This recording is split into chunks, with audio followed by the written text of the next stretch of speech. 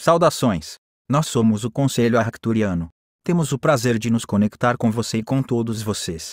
Estamos muito impressionados com a forma como a humanidade tem sido capaz de fazer tanto nesta jornada em que vocês estão desde que começaram a encarnar aí na Terra.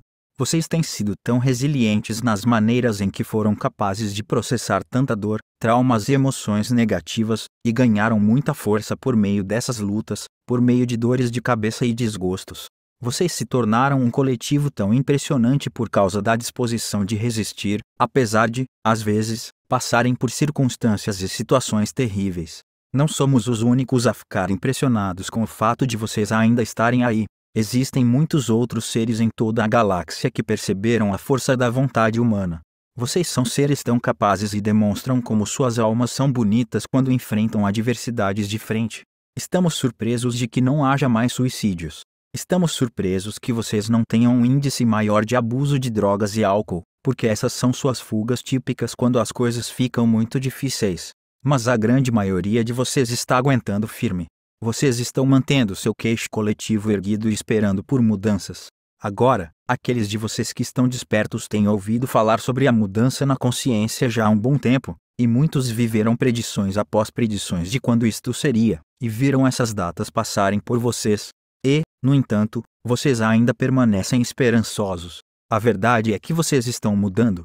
Vocês não são os únicos que estão mudando. Todos nós estamos mudando. Esta é uma mudança universal.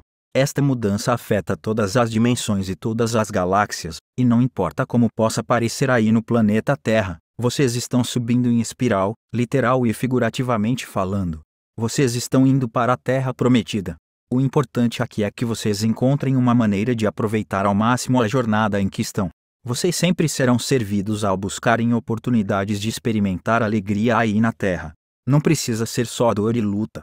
Na verdade, vocês veem essas circunstâncias como oportunidades de crescimento e expansão, é isso que vocês ganham com elas.